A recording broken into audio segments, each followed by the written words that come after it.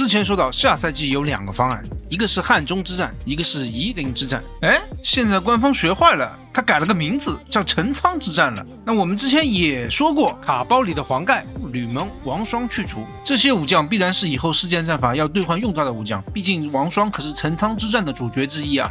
所以，请各位保存好这几个武将，以后在大卡包里面才能抽到啊！这中签概率属实低了不少。那我们话再说回来，这个版本天师举一啊，出了三个群雄的武将，所以群雄的武将不会再出了。上个版本云起龙香出了 SP 刘烨和诸葛恪，魏国的武将水了。江樊之战出了 SP 关羽、SP 庞德和马忠，庞德和马忠都水了。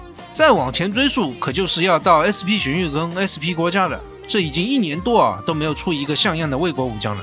所以你看这张图，和诸葛亮对位的是谁呢？六御骑兵，魏国文武双全代表魏法齐、真大和，曹家最后的支将大将军、大司马曹真、曹子丹，借客借客。